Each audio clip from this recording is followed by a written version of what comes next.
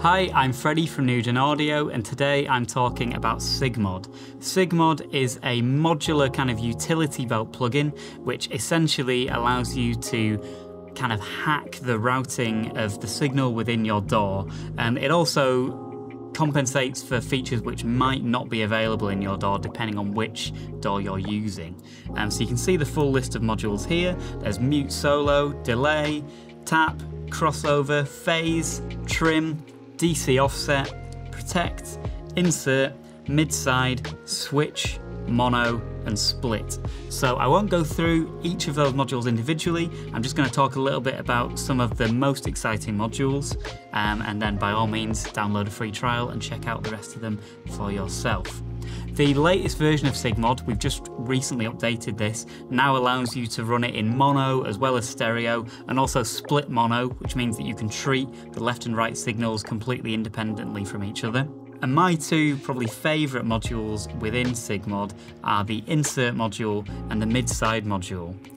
The insert module allows you to host plugins within SigMod, so for me personally, as someone who mainly uses Pro Tools, this is really useful because it means I can still use plugins which might only exist in VST2, VST3 or AU.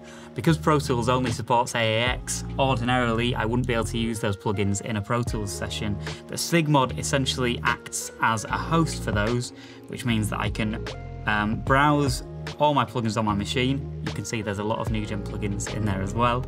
Um, and then run them via SigMod. So here I've got this compressor, which I like a lot, but I can only get in VST. You can see that's now being hosted within SigMod, and it means that even though I'm using Pro Tools, I'm not limited to only using AAX plugins. My other favourite is the mid-side module. So I've added that in here, you can insert any module on this um, settings screen. The mid-side module allows you to convert any stereo left-right signal into a stereo mid-side signal.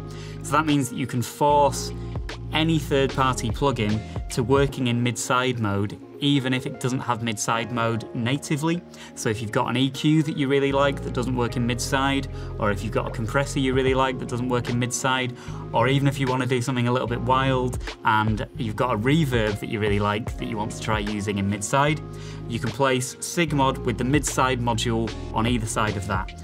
So I'm using it here with the insert module in the, in the middle.